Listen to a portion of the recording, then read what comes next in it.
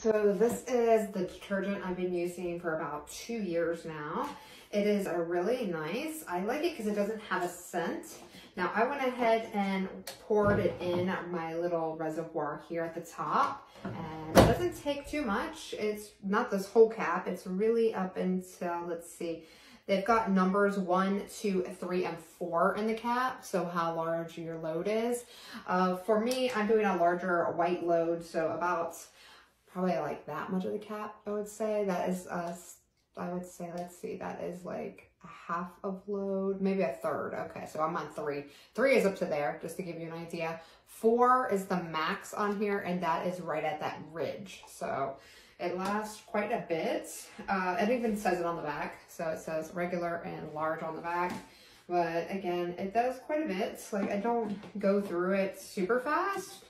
Um, I would say it takes me about two months to go through this, you know, at least. Maybe, it says it's uh, 64 loads, so it does have 64 loads in it. That's probably why I don't go through it that much. I mean, literally, I've had this one for a little while and I haven't even got to my new one that I ordered. So this one's brand new. This one's still got a little bit more than half. So this is gonna last me at least like three months, I would say. So quite a while in between the two of them. Uh, but again, it's 64 loads. So if you do maybe two loads, three loads a week, I have a, uh, a little bit larger family. I have a family of four, plus I've got four pets. And like I said, it, it does last. So definitely do recommend it. And it does leave it nice and clean too. Now I just did some silk stuff. This is kind of wrinkly, but it's super clean.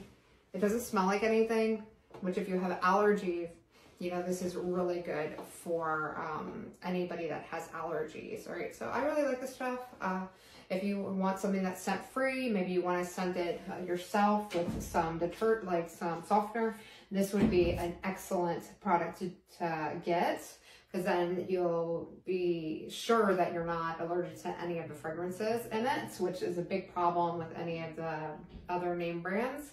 And then again, if you're not uh, sensitive to like softeners, you can get uh, these by Downy or whatever other ones that you prefer. All right, guys, I hope you enjoyed this review. Take care, and I'll see you in the next one.